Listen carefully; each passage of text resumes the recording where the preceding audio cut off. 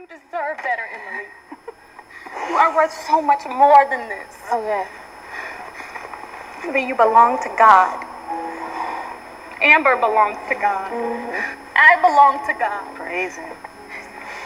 Emily, I'm leaving. I'm getting out of here. I can't do this anymore.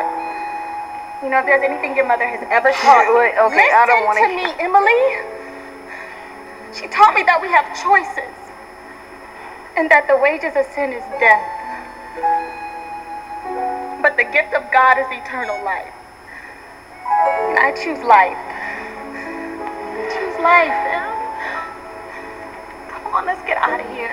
Please, you are more than my friend. You are my sister. I love you. Look, if you need to go, Kiki, you can go. All right? Just, Emily, go, I don't would want you to just leave. go? Emily, just go. don't wanna leave.